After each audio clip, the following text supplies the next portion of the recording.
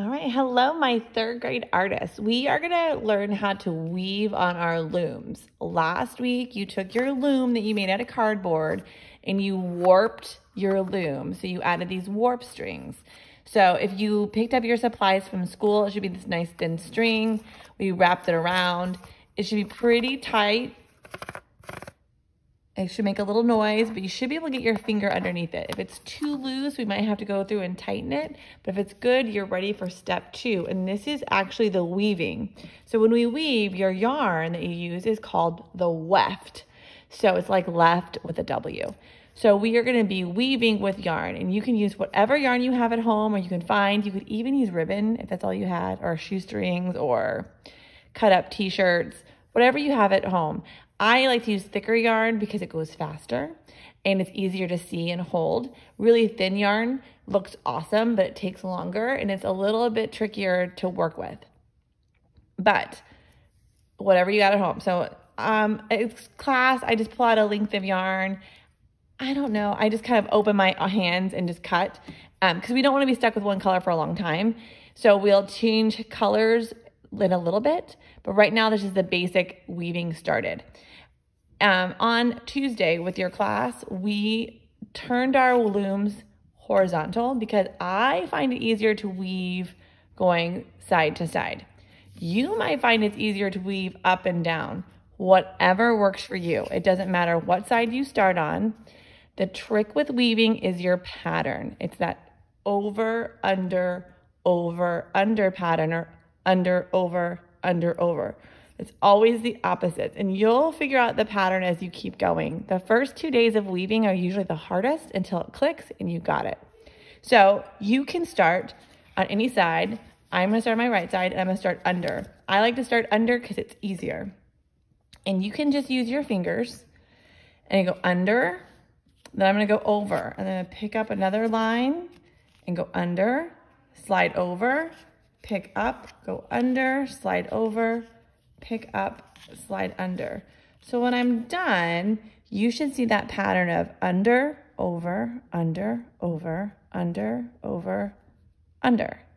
So you're really picking up every other line. So when this is done, you want to have a little bit of a tail and slide it all the way up to the top. That is called combing your loom, like combing your hair, but combing your loom. You push it to the top. And then I want you to take this little tail and floss it between the tooth. So just kind of put it out of the way. If you have a piece of tape, you can go ahead and tape that down. If not, it should be pretty secured tucked back there. So now you have this, it's attached and you can pull, and you have this end. So if you are fine using your fingers to go under, keep doing that. Some kids really like that. Some students really like using the plastic needle, and we have a really big plastic needle. And if you would like to have one, I can leave one at the school office. Um, I don't have a lot of them, but I have at least some for you guys at home. Anything plastic, nothing too sharp that will hurt us. It's a little easier. Now, some friends don't know how to thread a needle. You just can't stick it through, right? So there's a couple ways you could thread a needle. I lay my tail over the needle. I pinch it. I slide it. And then I can push it through. That's how I was taught when I was a little girl, and I leave just a little tail. Another thing we do is I take a post-it note at school, and I cut a little piece, and we make threading tacos. I take this little rectangle, and I fold it in half lengthwise or hot dog style. So it looks like a little taco shell. This should fit in my eye. So what you do is you lay the end of your yarn inside your taco shell. See, it's inside my taco shell. I'm gonna pinch it flat, shove it through the needle, and voila, you're threaded. Just leave a little tail and you're all set. So whatever way you wanna do with your hands or with a needle, Mrs. Cole likes the needle, so I'm gonna use that. So watch where you ended. I ended on a under. So we're doing opposites. So now I'm gonna start going over. So I'm gonna skip this one, pick up this one. So it's under, I'm gonna go over, under, I'm gonna go over, under, go over, and end, over. And we wanna be the opposite of where we were, and that's true. And then when I'm gonna pull, I'm gonna gently pull. Using my fingers, I'm gonna gently pull until this end just kisses that string. I don't wanna pull so tight, it cinches. We wanna keep it loose.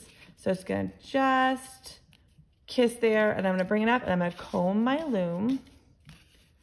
And I know it works if I pull a little tug on it and it doesn't unravel. If you don't do the opposite, it unravels. So you can check, because that was under, over, it should see opposite on each one. So now I ended over. So I'm gonna take my needle and I'm gonna start under. So I'm gonna pick up, slide over. So I know I'm picking up every other warp string. So I can check with my yarn that's opposite the one above it. And when I pull, remember we just want to kiss that yarn. It shouldn't tug. Comb it up. And I have my third one. And you keep weaving. So for whatever length of yarn you have, I want you to keep weaving, always going opposite of the one before you. So now I ended under, I'm gonna start over. And you do this either with your needle or with your fingers. And Mrs. Cole has been weaving for a very long time, so I'm used to going a little bit faster. You need to rewatch this video, that's fine. The only thing you wanna be careful with is if you're threading your needle, you don't wanna weave your little tail in. So I want you to keep weaving until you have about a finger's length of yarn left and then cut it. You don't wanna cut that tail too short. You wanna leave it kind of long. So I'm gonna let you pause what I would like you to do today is I would like you just to weave one color until you have a, finger's length of yarn left and just leave it on your loom. Take a picture and it can be vertical or horizontal so I can see your weaving and upload that to the assignment. This is probably as far as your class is gonna get this week, doing one length of yarn, that color. And that won't fill your whole thing. Next time we're together, I'll teach you how to change your colors because there's a different way to do that because we don't want to tie any knots. So if you are weaving and you're weaving and you go to pull it and this happens, the whole thing just unwove. That's because you didn't do the opposite. It's not a big deal. So you'll just make sure this next time you go, okay, I started under, now I have to go over. Weaving is easy to fix, but it's also very easy to get frustrated with. So I want you to be very kind to yourself. You are learning. So once you weave all your first color, take that picture and send it to me. If you have any questions or you don't understand something, please let me know. I'm happy to make you another video or we can Zoom and go through it together. Enjoy your weaving and I can't wait to see what colors you choose for your loom. Goodbye, artists.